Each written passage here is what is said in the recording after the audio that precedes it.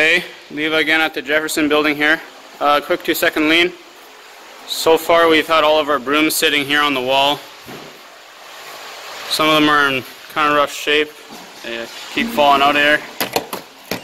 Some of these holes are just too big for our brooms. So kind of kind of sucks.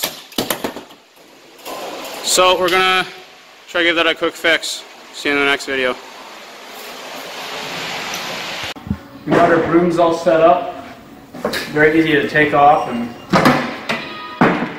put back on. Um, a lot closer to our trailers, as you can see. That's basically the thing that we sweep the most. So yeah, it should be a lot easier to access. Thanks.